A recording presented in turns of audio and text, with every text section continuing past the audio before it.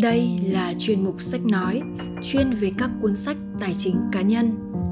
Nếu có điều kiện mua sách, bạn hãy mua để ủng hộ tác giả. Thịnh vượng tài chính tuổi 30 tập 1 Nhóm tác giả Gu Duk Song, Chong Song Jin và Choi Byung Hee Những thứ cần nhất khi về già khi Min Suk ngồi trước máy tính và làm công việc chỉnh lý hồ sơ điện tử. Gần tới bữa tối, vợ chồng anh lại trở về viện dưỡng lão. Vai và đầu ngón tay của anh mỏi dã rời. Anh cảm thấy chân mình không còn chút sức lực. Tự nhiên, có một suy nghĩ len lỏi trong đầu anh. Hóa ra, mình cũng đã già mất rồi. Sau khi ăn tối ở viện dưỡng lão xong, nhìn những ông bà già tụ tập xem tivi trong phòng nghỉ, anh lặng lặng quay về phòng. Những sự việc xảy ra hồi sáng lại hiện lên trong tâm trí anh. Khi mới 30 tuổi, anh đã là người thành công nhất trong đám bạn với vị trí trưởng phòng của một công ty tầm cỡ. Kể cả mua xe, anh cũng phải chờ loại xe lớn hơn, xịn hơn. Anh còn có sở thích thưởng thức các loại rượu cao cấp, So với thời đó, trông Giang Ungu mà anh đã gặp ngày hôm nay chắc hẳn đã có sự chuẩn bị trước cho tuổi già. Hay cuộc đời mình vẫn chưa làm được gì? Không hiểu sau 40 tuổi, mình đã làm gì mà đến bây giờ lại ở nơi này. Anh suy nghĩ, nhưng càng nghĩ lại càng thấy câu trả lời ngày một mù mịt. Lúc đó, tiếng tivi từ bên ngoài vọng vào. Một hai người già đã bước ngồi trước tivi, tự nhiên nhìn qua nhìn lại như có chuyện gì còn phía dưới hành lang đối diện phòng nghỉ có rất nhiều người tụ tập và đang nói chuyện ầm ĩ kim miên sốc tò mò ra ngoài xem có chuyện gì xảy ra thì ra ông Lee Jin Chong ở phòng 104 bị đột quỵ. Ông ấy cần mau chóng được chữa trị, nếu không thì nguy mất. Giờ có đến bệnh viện thì cũng không còn hy vọng. Huyết áp ông ấy không bình thường, nhưng ông ấy bảo không có tiền mua thuốc già cả, ốm đau, tiền lại không có đồng nào. Những người như chúng ta đừng có ai bị ốm đấy, nếu không chúng ta sẽ chết sớm. Già rồi không có tiền tiêu, rồi lại phải làm việc không nghỉ. Cứ như thế này thì thà chết đi còn sướng hơn trăm lần. Cuộc sống sao mà khó khăn thế? Mọi người thở dài, nhìn theo chiếc xe cứu thương đang chở ông ly trên trông rồi mỗi người lại đưa ra một câu phù hợp với phân tích của cá nhân mình. Nhưng hình như việc này đã không còn là việc mới xảy ra lần đầu tiên, nên chẳng bao lâu sau, mọi người lại trở về vị trí cũ, cứ như chưa hề có chuyện gì xảy ra. Không hiểu sao kim miên sốc có cảm giác chân mình không còn chút sức lực, anh lưỡng lự rồi ngồi rũ xuống.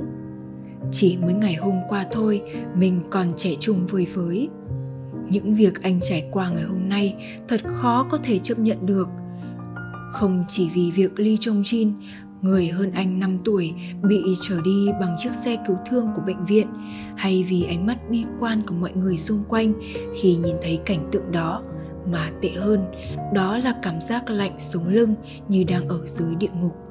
Ngày hôm nay với anh quá bi thương, anh có cảm giác dài như thể chục năm anh chợt nhớ lại y nguyên lời của cậu em họ làm việc ở công ty bảo hiểm đã từng nói với anh.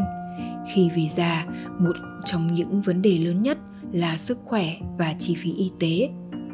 Và anh cũng chợt nhớ đến câu chuyện cổ tích con kiến và con ve sầu liệu mình bây giờ có phải là con ve sầu vừa cười đều con kiến chăm chỉ kiếm ăn trong mùa thu trong ngày mùa hè nóng nực, vừa ngồi gảy đàn trên cành cây không? Cảm giác bực bội và tự trách mình như những mũi kim đâm vào tim anh. Giả sử giờ mình bị ốm thì sao? Vợ mình bị ốm thì sao? Mình có khả năng đối phó không? Liệu mình có giống như ông lee chin trông không? Bây giờ mới bắt đầu chuẩn bị, chắc không muộn quá chứ. Hay mình sẽ trở thành thân tàn mà dại, giống như con ve sầu khi mùa đông sang không? Anh bắt đầu suy nghĩ rằng không biết ngày mai mình có bị đau bụng hay bị ốm hay không. Anh cảm thấy cơ thể mình quá yếu ớt và cũng cảm thấy rằng hiện thực quá đáng sợ. Đúng lúc đó, anh bị véo trong một cái. Ông à ông có biết hôm nay là ngày gì không?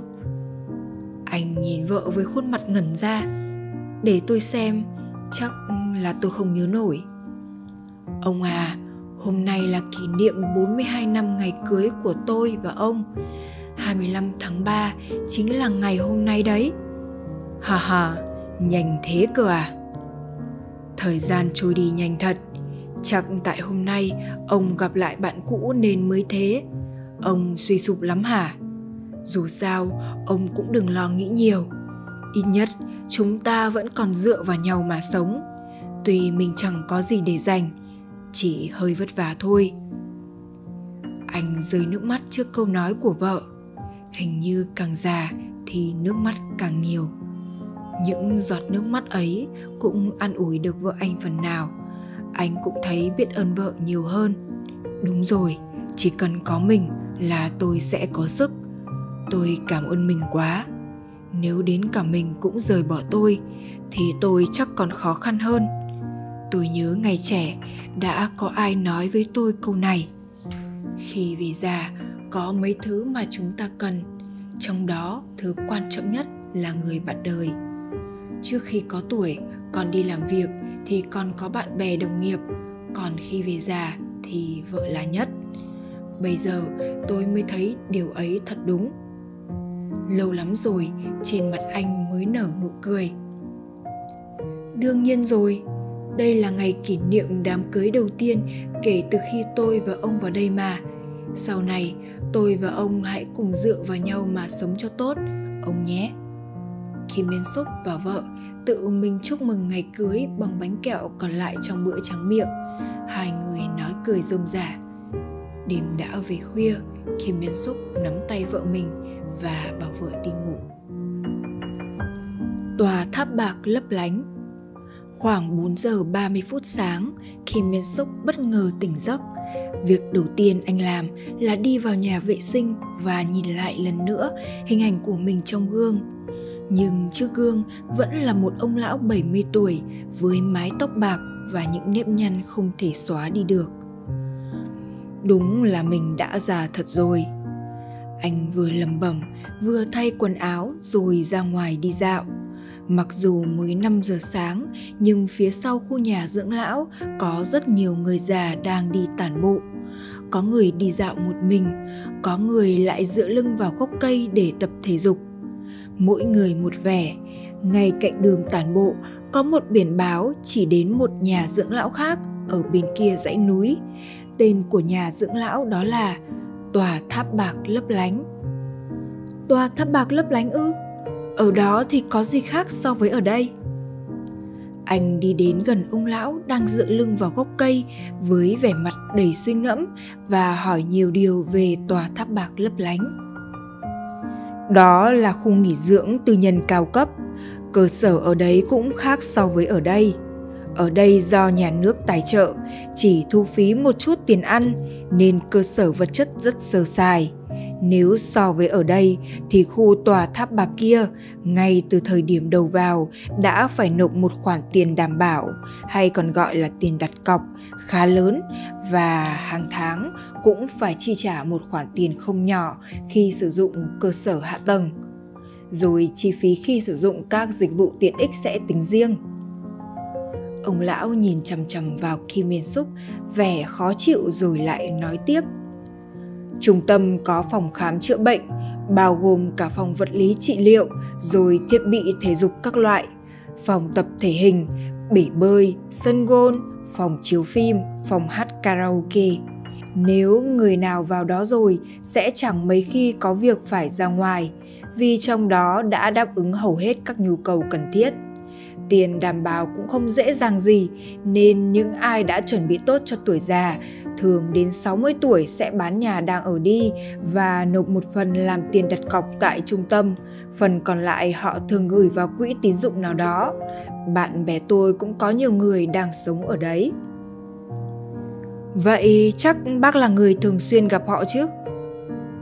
Lúc đầu thì do gần nên cũng thường xuyên qua lại, nhưng mà dạo gần đây thì không mấy khi. Tại sao ạ? Hay có khúc mắc gì? gặp gỡ bạn bè, nhiều khi chỉ là đi dạo cùng nhau, nhưng cũng nhiều khi rủ nhau đi ăn trưa, cùng chúc nhau chén rượu. Nhưng những người sống ở đó đều có kinh tế khá giả, nên việc họ đãi bữa trưa thịnh soạn cũng chẳng phải là một hay hai lần, mà họ mời mình mấy lần thì ít ra mình cũng phải mời lại một lần mới phải.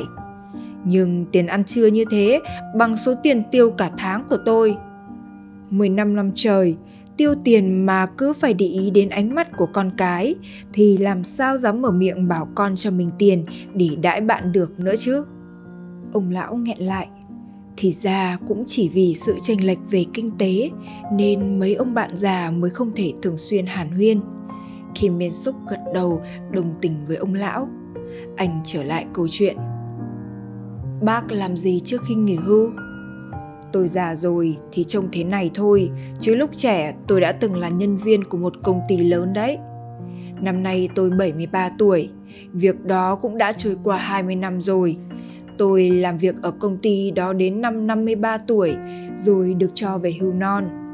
Giá mà khi đó tôi chuẩn bị cho tuổi già thì chắc giờ đây đã không phải thế này vốn đang làm ở công ty lớn, nên khi ra ngoài xã hội, tôi nghĩ mình phải làm ngay cái gì đó. Nếu tôi chuẩn bị kỹ lưỡng trước khi làm thì khi đó tôi nghĩ rằng chỉ cần bắt đầu thì chắc chắn sẽ thành công. Tôi cứ mộng tưởng như vậy nên cứ vay tiền mà không tính toán kỹ. Cứ thế đầu tư vào lĩnh vực mà mình không có kinh nghiệm. Đã qua cái tuổi ngũ tuần mà lại gặp thất bại, nên làm sao có cơ hội phục thù được? Tôi nhớ có ai đó đã nói rằng người quản lý tài sản tốt nhất là người cả đời không để cho mình cháy túi. Tôi thì ngoài 50 tuổi đã để mất toàn bộ số tiền tích cóp được, nên bây giờ mới khốn đốn như thế này. Giờ tôi chẳng có tham vọng gì nhiều, chỉ mong mỗi tháng kiếm được 300 đến 400 nghìn won, tránh cái nhìn xét nét của con cái. Già rồi mới thấy những điều mình hối tiếc chẳng phải một hay hai, cứ như cả đời mình vẫn chưa làm được gì vậy trong tiếng thở dài của ông lão dường như vẫn có một nỗi tiếc nuối vì quyết định sai lầm của mình ở cái tuổi ngoài ngũ tuần. Khi Miên Xúc chợt nghĩ đến mới khi nào mình còn kiếm được 300-400 nghìn won ngon ơ. Nhưng khi lắng nghe câu chuyện thất bại của người đàn ông đi trước thì anh lại nghĩ khác. Khi cần, hãy kiếm càng nhiều càng tốt Lúc này anh mới cảm nhận và thấm thía hơn ý nghĩa của câu nói đó. Nếu mình có thể giúp ông lão ngồi ngay trước mặt kiếm được 300-400 nghìn won một tháng, chắc ông ấy vui biết chừng nào. Trong lòng Kim Miên Súc bất ngờ như có cơn gió lạnh thoảng qua. Anh bỏ lại ông lão ở phía sau, rồi cứ thế tiến đến tòa tháp bạc. Quả nhiên, anh cảm thấy tò mò muốn xem tòa tháp đó trông thế nào cuộc gặp gỡ với tiên ông. Một khi tôi 30 tuổi. Kim Miên Súc nhìn theo hướng của tòa tháp bạc rồi leo lên núi. Từ ngọn núi đằng xa lóe lên ánh sáng mờ mờ. Màn đêm dần tàn đi, nhường chỗ cho ánh sáng của ban ngày. Ông lão khi nãy anh mới gặp đã nói rằng mình quá khổ sở vì mất toàn bộ số tiền tiết kiệm ở cái tuổi ngoài 50. Còn mình, mình đã làm sai điều gì mà giờ đây đến nông nỗi này? Đang chìm đắm trong suy nghĩ, anh bỗng nhìn thấy một ông lão với trang phục rất chỉnh tề. Kim miến xúc lại gần ông lão và bắt chuyện. Chào cụ, cho tôi hỏi đây có phải là đường đến tòa tháp bạc lấp lánh không? Ông lão nhìn chằm chằm vào kim miên xúc. Anh có thể cảm nhận được vầng hào quang lấp lánh phát ra từ khuôn mặt của ông lão anh có cảm giác giống như ông bụt thường xuất hiện trong các câu chuyện cổ tích. Vâng đường này chính là đường tới tòa tháp bạc. Anh là kim min súc đúng không? Anh bàng hoàng khi ông lão lần đầu tiên mình gặp trong đời lại nói chính xác tên anh nên chỉ gật đầu đồng ý. Ta là tiên ông, ta sẽ chỉ cho con thấy tương lai của mình. Lý do hình dáng hiện tại của con bây giờ là 70 tuổi cũng là do để con có thể gặp ta. anh cảm thấy chân mình không đứng vững, miệng không thốt lên lời. Con đừng sợ, ta là tên ông của con cơ mà. Hình như con quá lo lắng về tương lai của mình, nên ta mới xuất hiện để chỉ cho con thấy. Tiền ông đang nói là hình dáng 70 tuổi này của con chỉ là giả tưởng phải không ạ? Kim Miên Súc phải lấy hết dũng khí mới thốt lên lời. Khi con 35 tuổi, con chỉ biết lo lắng cho tương lai nhưng lại không chuẩn bị cho tương lai đó.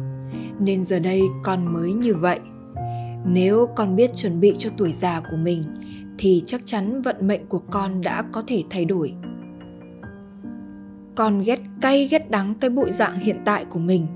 Từng nay tuổi rồi mà nhà cũng không có, con không thể chấp nhận được việc mình phải ở một ngôi nhà dưỡng lão mà không phải là tòa tháp bạc con không thể hiểu nổi con đã sống thế nào mà đến nông nỗi này thưa tiên ông nếu ông là tương lai tuổi già của con thì tiên ông có biết con đã sống như thế nào từ năm 35 tuổi cho đến khi 70 tuổi không ạ? Anh cố gắng kiềm chế sự sợ hãi của mình và khẩn khoản xin tiên ông. Con muốn biết con đường mình đã đi. Được, ta sẽ chỉ cho con thấy. Ngay khi tiên ông chỉ vào sườn đồi mà Kim Miên Sốc vừa leo lên, thì hình ảnh cuộc sống của anh sau 35 tuổi hiện ra như một bức tranh toàn cảnh. Các sự kiện quan trọng lần lượt hiện ra trong không trung như màn hình TV vậy.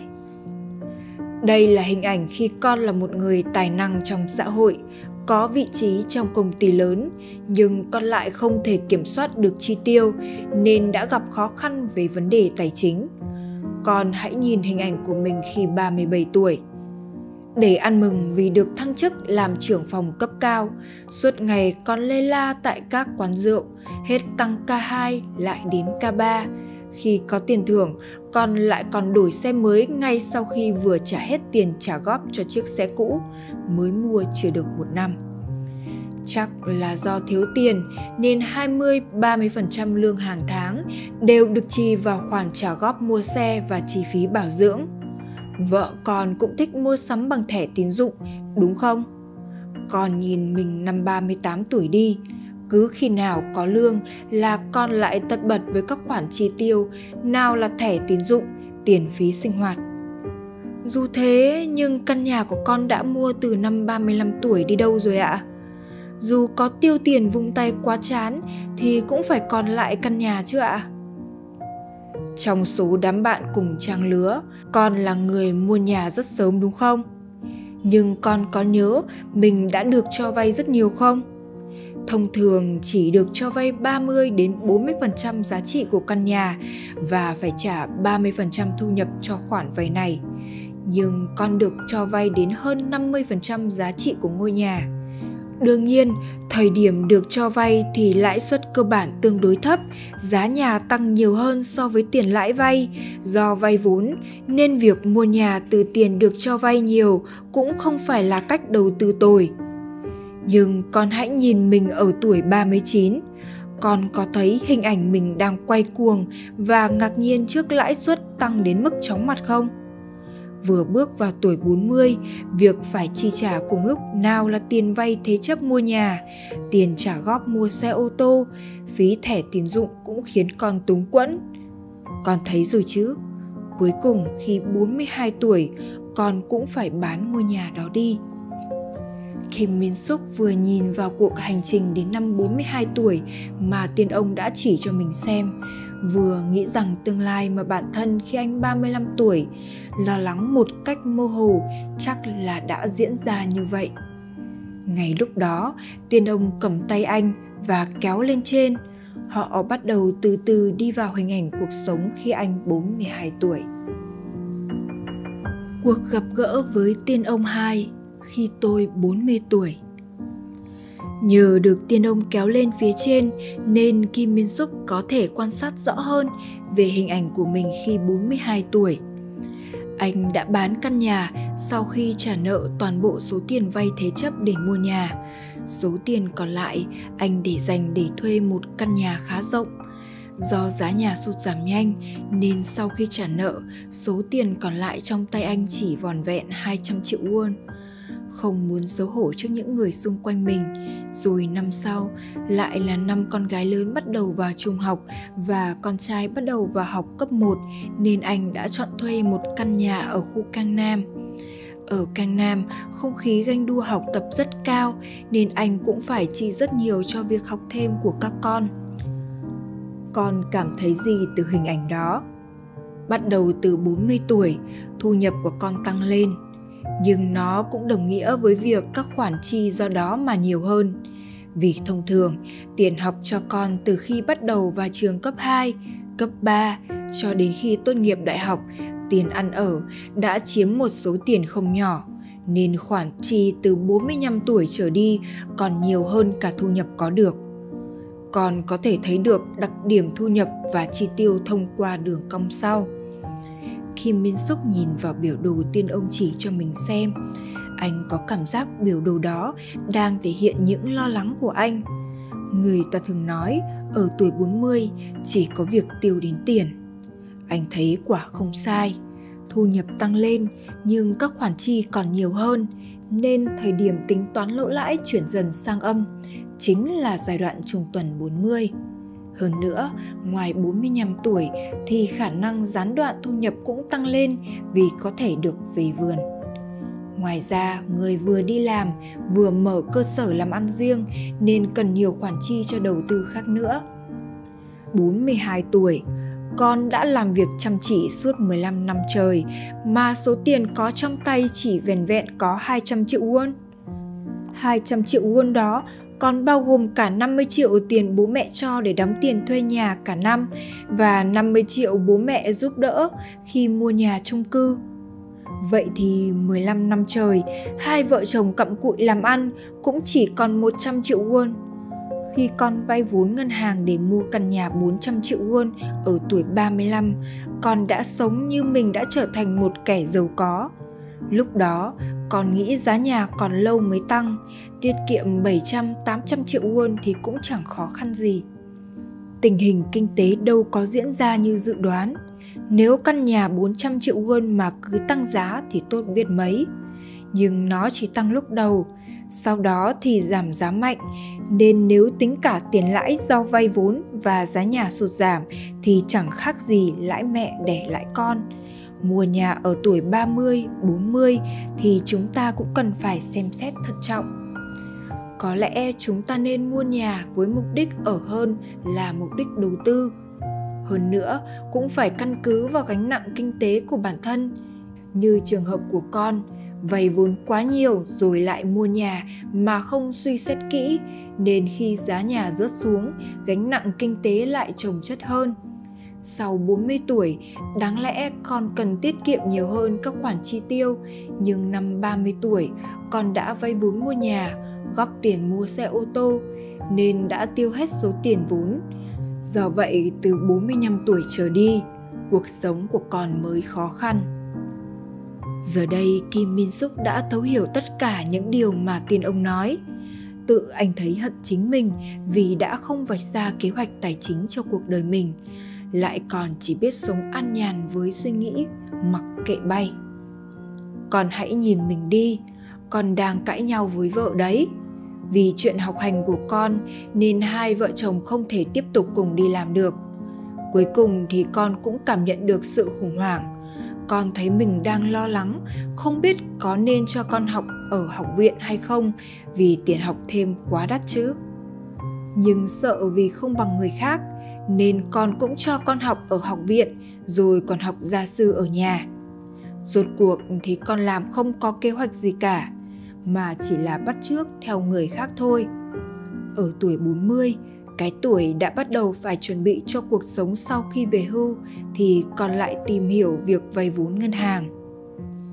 Kim Miên Súc vừa gãi đầu vừa gật đầu đồng tình trước lời nói của tiên ông anh đã hiểu phần nào tại sao hình ảnh mình 70 tuổi lại như thế này.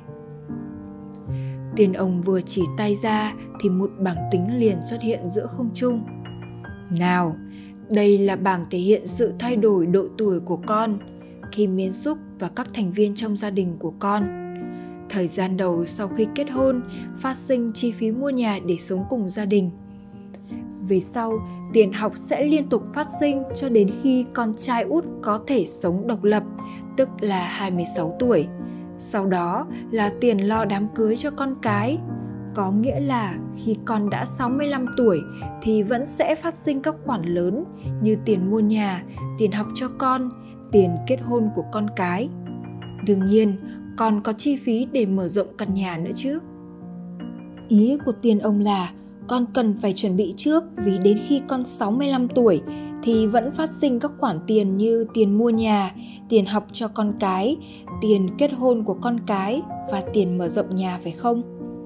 Đúng vậy, khoản tiền này thường được gọi là khoản tiền đầu tư có mục đích. Tiền đầu tư có mục đích ngoài các hạng mục trên còn phải kể đến như tiền về già, tiền dành cho các trường hợp khẩn cấp, bận rộn với cuộc sống, nhưng chúng ta vẫn có thể thiết kế cuộc đời mình một cách hợp lý. Nếu chúng ta biết được khoản tiền đầu tư có mục đích mà ta cần là bao nhiêu. Ngoài ra, nếu ta chi tiêu một cách có kế hoạch, thì khoản tiền đó còn đóng vai trò dẫn dắt để ta có thể đạt được mục tiêu cuộc đời bằng cách tiết kiệm. Nếu lên kế hoạch trước các khoản tiền đầu tư có mục đích cần thiết theo từng hạng mục thì chắc con đã không sống quá gấp gáp con cũng có thể phân bổ chi tiêu một cách hợp lý tiên ông ra hiệu đúng rồi và cười tươi đúng vậy nếu con biết lập kế hoạch như thế thì con sẽ không cần phải lo lắng hay cãi vã với gia đình về vấn đề chi tiêu. Vào tuổi 40, con có cảm giác mình đang bị cái gì đó bám đuổi chứ? Lẽ ra con nên chọn một ngôi nhà vừa phải khi con ở độ tuổi 30 và cần phải tiết kiệm vốn ban đầu sẽ làm tăng tài sản. Nhưng con lại đón tuổi 40 với tình trạng tài chính suy kiệt do chi tiêu không giới hạn và vay vốn ngân hàng vô độ. Khi Min Súc vừa nhìn hình ảnh túng quẫn của mình vì những khoản tiền như tiền phí thẻ tín dụng, tiền học phí cho con, phí sinh hoạt hàng tháng, vừa mất đi hy vọng. Nếu vậy, con không còn hy vọng nào sao? Ở tuổi 30, con không thể chuẩn bị gì được thì liệu tuổi 40 con có thể lấy lại những gì đã mất?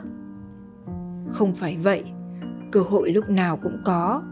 Con không cần thiết từ bỏ khi thấy cuộc sống tuổi 40 quá khó khăn. Người ta chẳng nói là khi nhận ra đã muộn thì cũng là lúc sớm nhất còn gì. Sau khi nhìn thấy tình trạng tài chính thời kỳ đầu 40 tuổi đang suy kiệt thì còn cần phải tái cơ cấu lại tài chính gia đình. Điều chỉnh cơ cấu tài sản gia đình là sao ạ?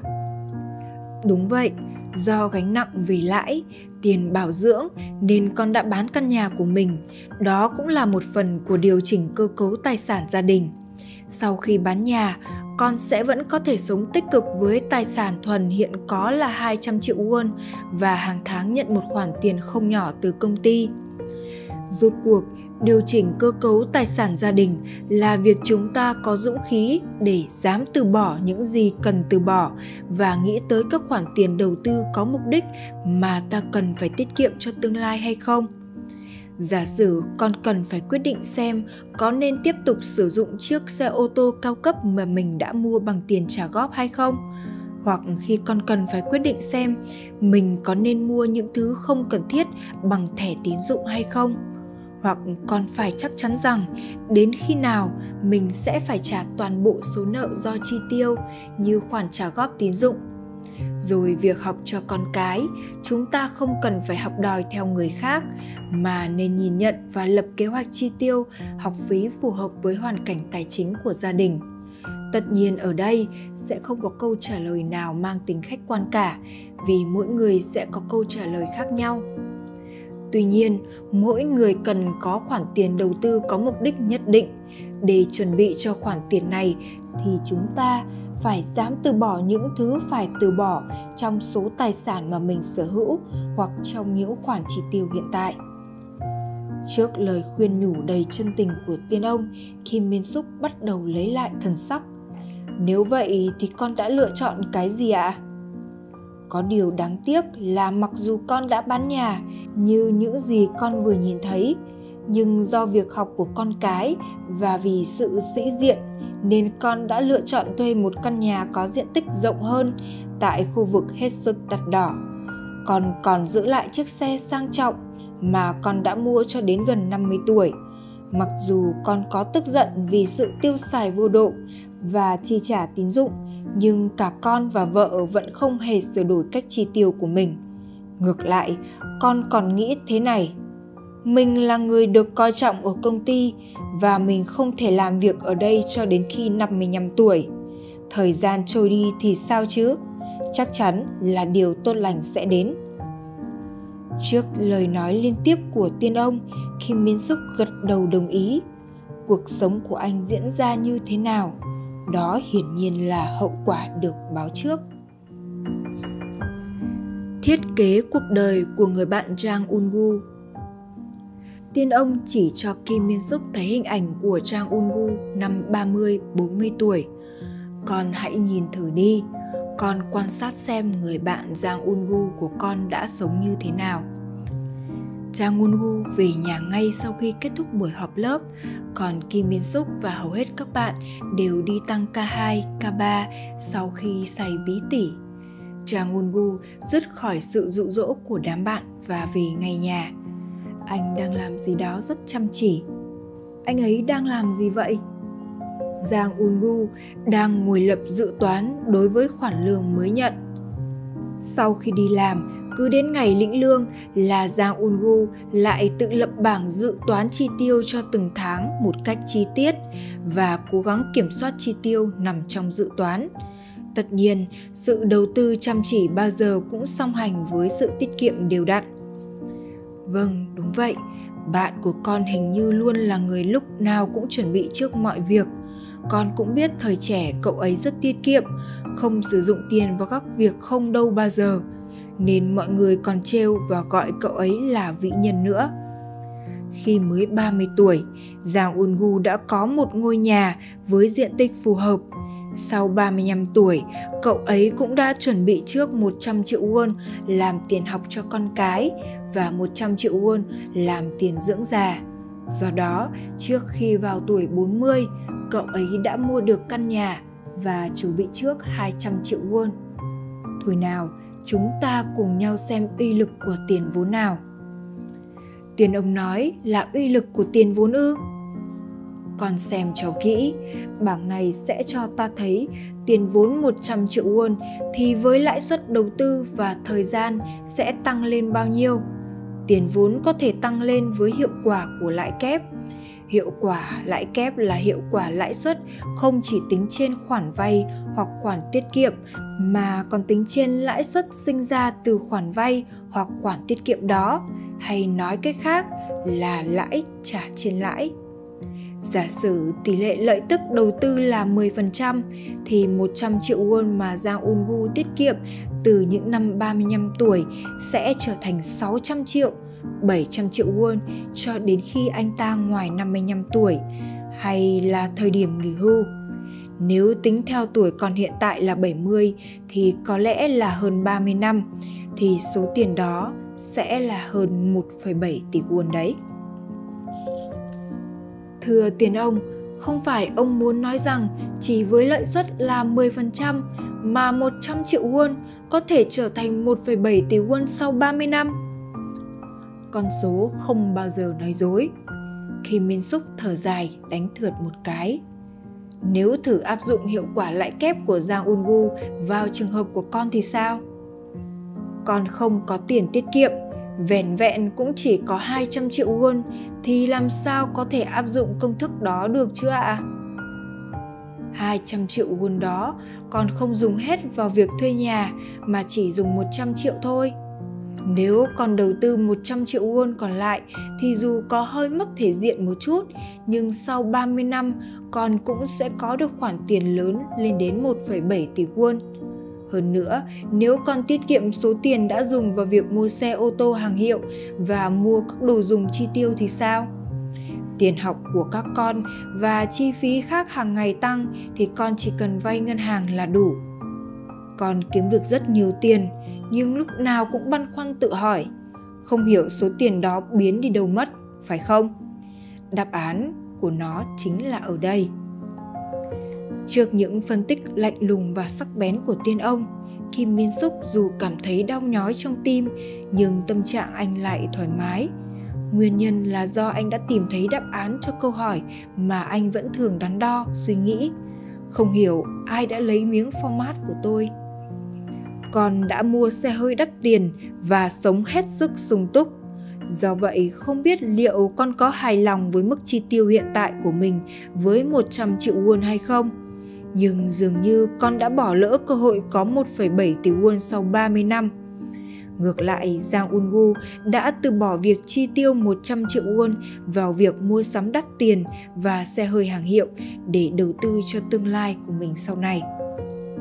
Khi Miến xúc sau khi nghe tiên ông giải thích về việc 100 triệu ban đầu là 1,7 tỷ trong tương lai, mặt anh méo sạch đi.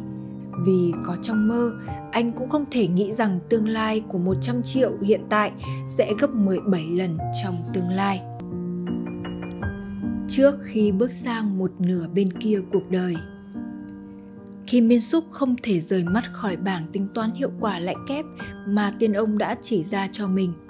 So sánh thử với Giang Ungu, người đã biến 100 triệu won ban đầu thành 1,7 tỷ won nhờ hiệu quả lãi kép và hiện trạng của bản thân, người đã làm tan biến cơ hội, khiến anh cảm thấy bất ngờ đến thẳng thốt. Con nhớ là con đã dùng chiếc xe hàng hiệu Emaro với giá 30 triệu won ở tuổi 40. Nếu tính số tiền đó sau 30 năm sẽ là 520 triệu won cơ đấy. Bây giờ nghĩ lại mới thấy việc đó quá xa xỉ. Vì có thu nhập nên con thường nói rằng 40 tuổi là thời kỳ hoàng kim của mình.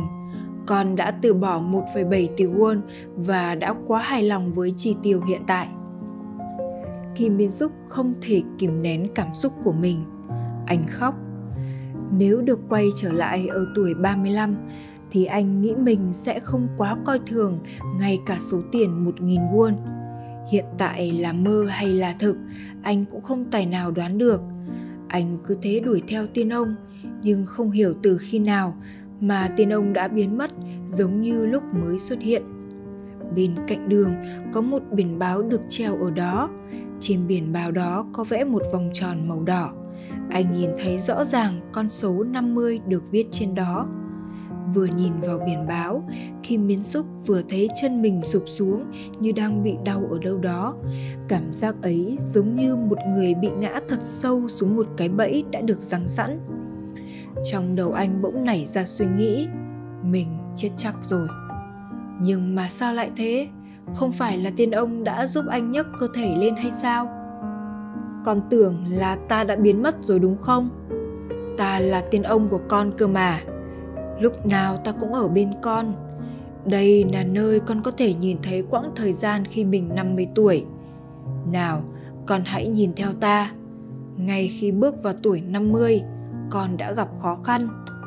Ở nước ta, đối với một công ty tầm cỡ như công ty của con, lại là thời kỳ khó khăn khi con tròn 50 tuổi. Con là một nhân viên có năng lực, nhưng để thoát khỏi tình trạng ảm đạm thì con cũng bị liệt vào danh sách để cải tổ cơ cấu. Tiên ông chẳng nói rằng công ty của con là một công ty danh tiếng hay sao? Công ty của con làm sao có thể sụp đổ được chứ? Kim Min Suk, con biết rằng nền kinh tế của đất nước ta bắt đầu đi lên từ những tàn lụi sau chiến tranh đúng không? Thế nhưng 100 doanh nghiệp tiêu biểu có doanh thu đứng đầu vào những năm 1955. Sau khi cạnh tranh trên thị trường thế giới thì chỉ còn lại 7 doanh nghiệp được lọt vào top 100. Không ai muốn tin đây là sự thật. Hiện tại là thời đại của sự cạnh tranh khốc liệt mang tính toàn cầu. Nếu theo tốc độ này, mỗi cá nhân ai cũng chỉ biết gắn vận mệnh của mình vào một tổ chức nào đó thì thực sự là một điều nguy hiểm dù là làm việc cho bất kỳ tổ chức nào, thì mỗi người đều phải nâng cao khả năng của bản thân để được mọi người công nhận là chuyên gia trong một lĩnh vực nào đó. Tất nhiên, để làm được điều này thì họ phải có kiến thức về lĩnh vực chuyên ngành của mình.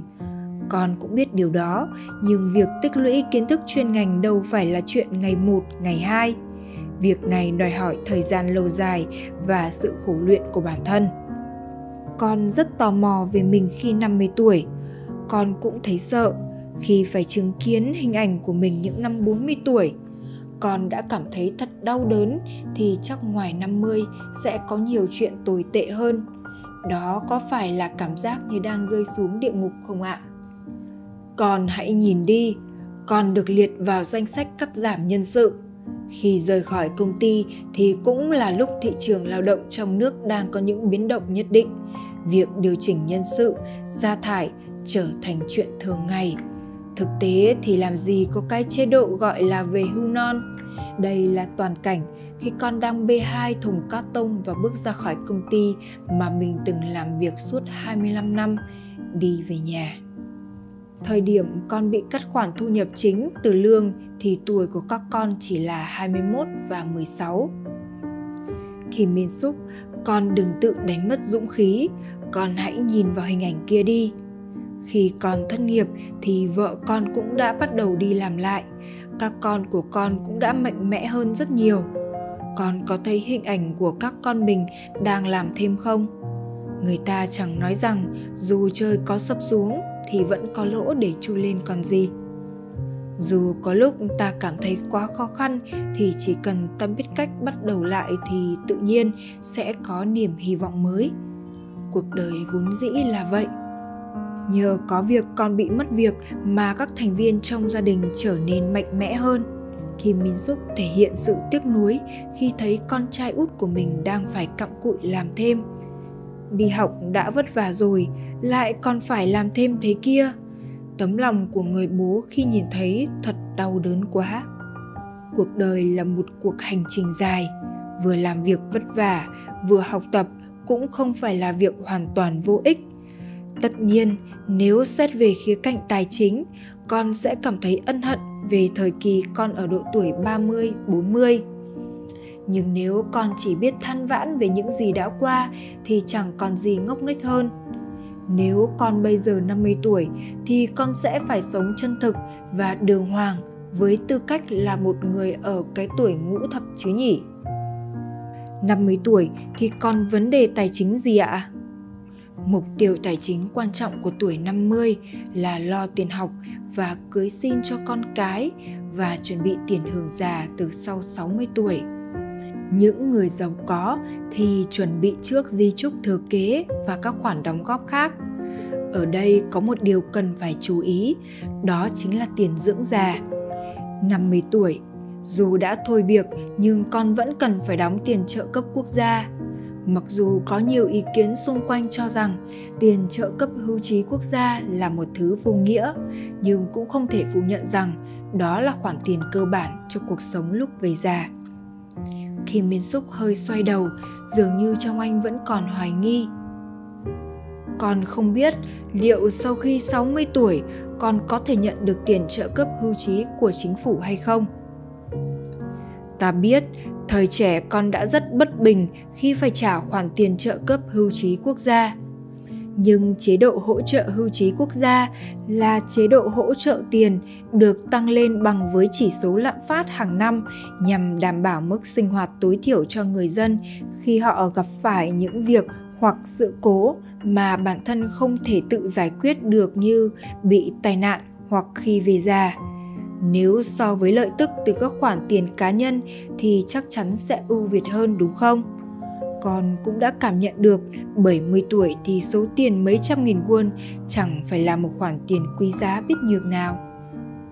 Thì ra là vậy, hóa ra tiền trợ cấp hưu trí quốc gia là chiếc phao cứu sinh cuối cùng lúc về già. Nếu vậy ở tuổi 50 con cần phải chuẩn bị điều gì? Khi còn trẻ, chúng ta thường nghĩ rằng bước sang tuổi 50 thì dường như đang đi đến giai đoạn cuối của cuộc đời – nhưng nếu tính tuổi thọ trung bình hiện tại là 100 thì đây chỉ là thời gian chúng ta đứng ở xuất phát điểm mới. Và quan trọng hơn, chúng ta sẽ phải chuẩn bị nền tảng để có thể làm việc suốt quãng thời gian còn lại đó. Nền tảng làm việc suốt đời ạ? À?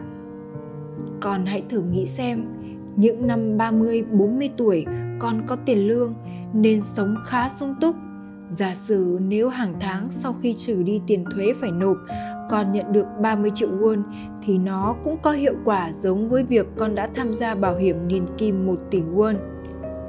Ý của tiền ông là tiền lương 3 triệu won và dòng tiền phát sinh từ các khoản tiết kiệm dài hạn 1 tỷ won là giống nhau.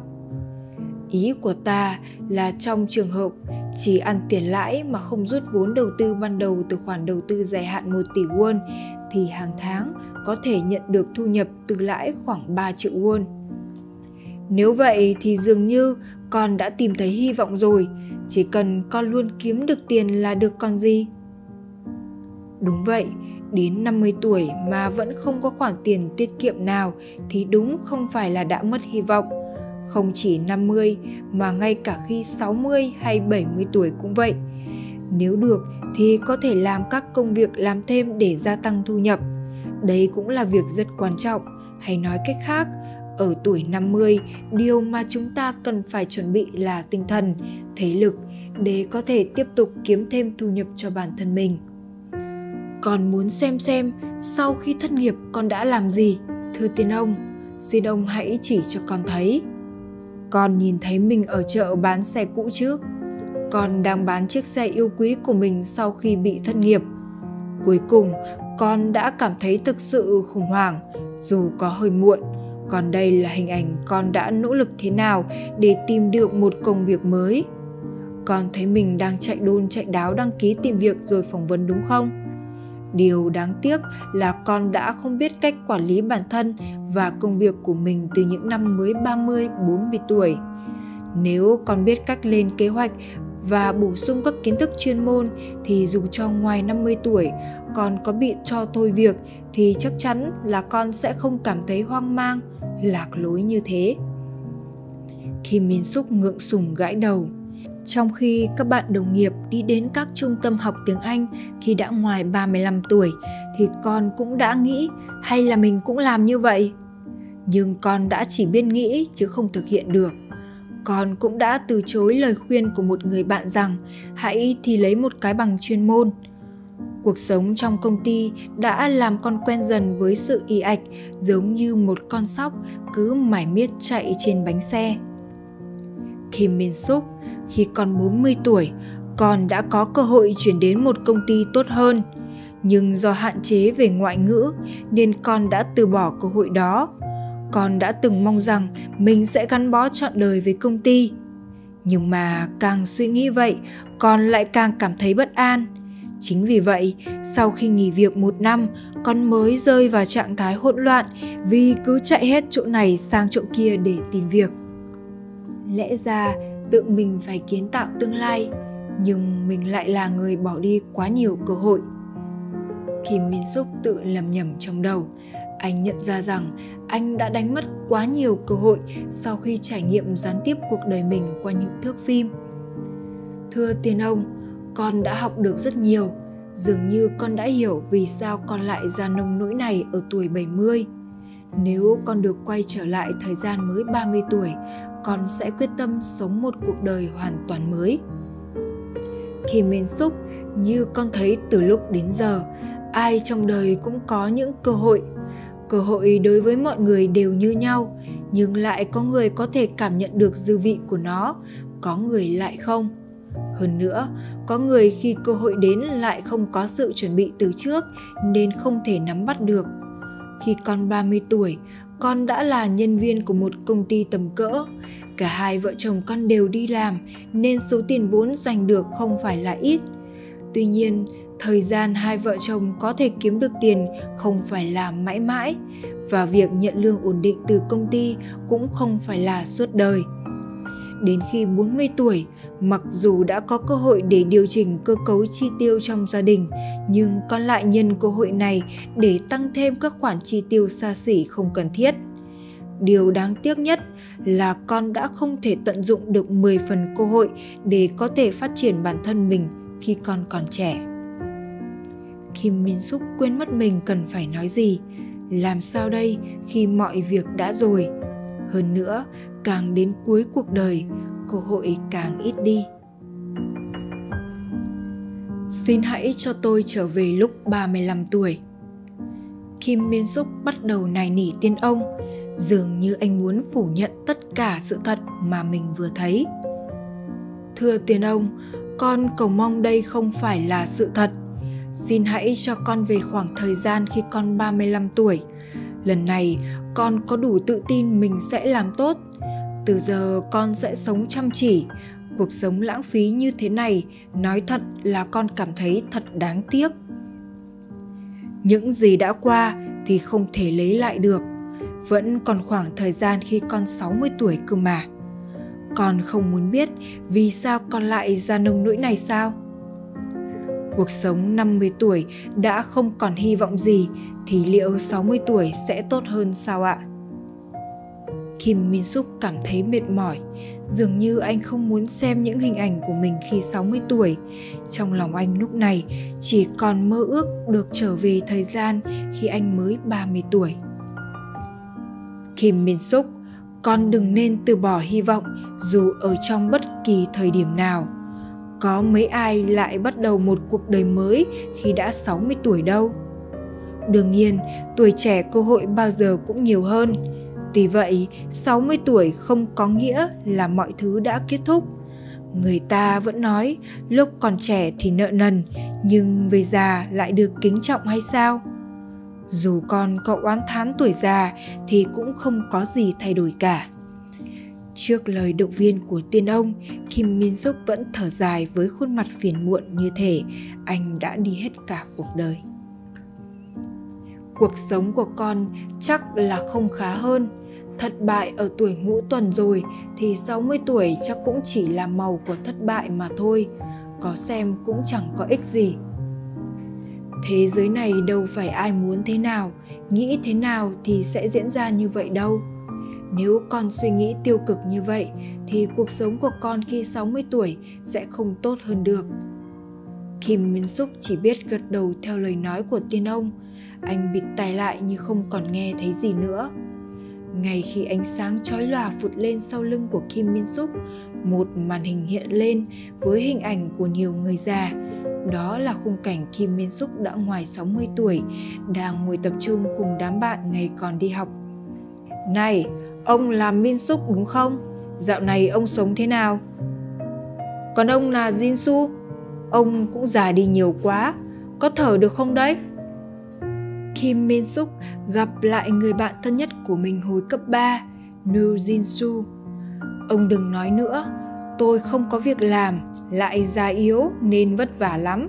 Sống lúc nào cũng phải nhìn theo ý con mà làm, sống mà cũng chẳng ra sống. Nujisu là trưởng nam trong gia đình. Ngoài năm mấy tuổi, nguyên nhân tai họa giáng xuống đầu ông là do vay vốn quá tay để mua thiết bị in khi kinh doanh xưởng in. Còn ông cũng thế à? Tôi đang sống cùng với bà lão nhà tôi ở nhà con gái. Nhìn thấy cháu trai, cháu gái thì cũng thấy đáng yêu lắm. Nhưng ngày lại ngày, lúc nào cũng phải giáp mặt với con rể, nên nhiều lúc bực mình chết đi được – Giờ tôi chỉ mong mình sẽ không trở thành gánh nặng cho con gái là được rồi. Năm 65 tuổi, Kim Min Suk đã từng sống cùng con gái, khi đó đã 36 tuổi trong căn nhà nhỏ. Hai vợ chồng Kim Min Suk đã dành ra một phần số tiền thuê nhà và phần lớn số tiền tiết kiệm để lo được đám cưới cho con gái lớn và con trai út, nên khi 60 tuổi, cả hai trở nên trắng tay. Hơn nữa, vợ anh lại bị chuẩn đoán ung thư vú nên phải phẫu thuật, rồi tiền điều trị. Nên đến cả số tiền dành cho thuê nhà còn lại anh cũng dùng hết. Vậy là giờ đây anh trở thành người vô gia cư.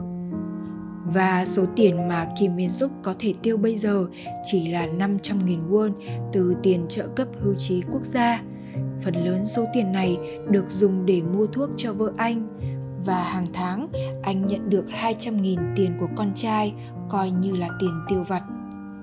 Trời ơi, có phải Min Suk và Jin Su không? Hóa ra các ông cũng ở đây à? Tôi xuống hơi muộn vì hôm nay có cuộc thi Go nên... Giang Ungu dù đã bước qua tuổi 60 nhưng cách ăn mặc sang trọng khiến vẻ mặt của ông chỉ như người mới 50 tuổi. Ungu, vui quá được gặp ông. Ông sống thế nào?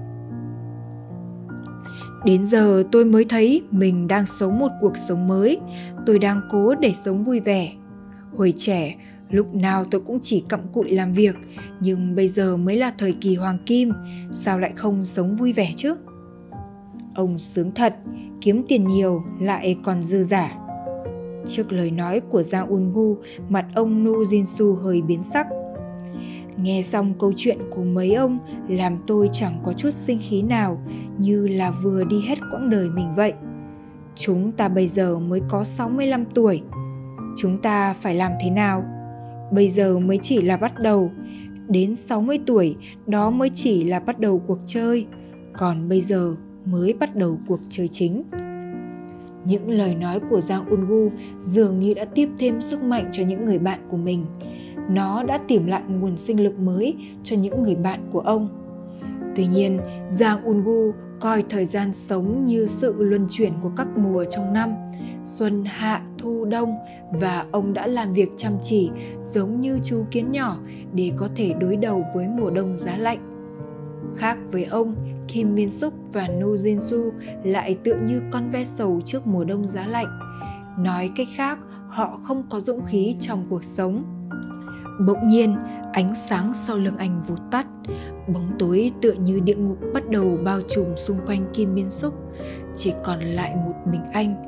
Bên dưới anh, tiền ông cũng biến mất, Giang Ungu hay Nu Jin Su vừa còn ở đây cũng đã biến mất – bóng tối càng bao trùm thì anh càng thấy sợ. Trong một tiếng đồng hồ xung quanh chỉ toàn là bóng tối và sự im lặng. Anh sợ đến mức nổi cả da gà tiên ông tiên ông ông đang ở đâu con xin lỗi vừa rồi con nóng giận quá nên mới phàn nàn xin hãy giúp con không có ai sao không có ai ở đây xin hãy giúp tôi với trời Xung quanh chân anh, những con bọ nhỏ đang dần bò lên. Anh run bắn người, cố gắng tránh khỏi lũ bọ đáng ghét. Nhìn kỹ hơn, anh mới phát hiện ra đó là những con ve sầu. Không hiểu do bị lạnh hay sao, nhưng những con ve sầu đó cũng đang run rẩy, dò dẫm bò xung quanh chỗ của Kim Min xúc đang đứng. Anh sợ hãi. Trong một lúc, anh cảm thấy chân mình như đang chìm dần vào lòng đất. Không, đây không phải là đầm lầy chứ. Không được. Mình ơi, mở cửa ra đi, tắm gì mà đến cả hai tiếng vậy. Anh mau ra ngoài đi.